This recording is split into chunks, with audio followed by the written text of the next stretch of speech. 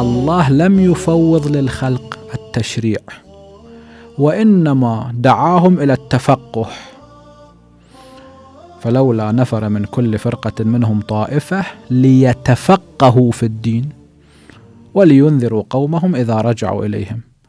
أنت اجتهد اجتهادا في فهم النص مو اجتهاد مقابل النص. أكو بعض العامة حينما يصل مثلا إلى الذين حاربوا أمير المؤمنين علي بن أبي طالب عليه الصلاة والسلام. مثل معاوية أمر بسب أمير المؤمنين ولعنه على المنابر والعياذ بالله. يقولون إن معاوية اجتهد.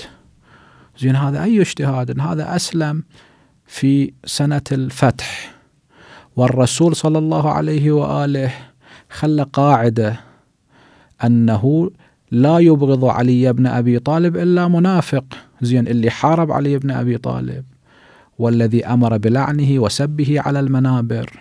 واستمرت كسنة أموية جارية. حسب صريح حديث الرسول هذا الرجل منافق. فأنت تأتي وتقول لا اجتهد. هذا اجتهاد باطل لأنه اجتهاد مقابل النص. نعم يمكن فقيه يجتهد في فهم النص يخطئ في فهم النص يمكن. إذا تشوف بعض الأحيان مثلا في الفتاوى هناك اختلاف. لماذا اختلاف؟ لأنه اجتهاد في فهم النص واحد فهم من هذا النص هكذا والآخر فهمه بطريقة أخرى. يمكن ذلك مثلا. أو واحد منهم رأى سند الحديث صحيحا والآخر رآه مثلا ضعيفا فالأول استند إلى ذلك الحديث فأفتى به. والثاني لم يستند إليه.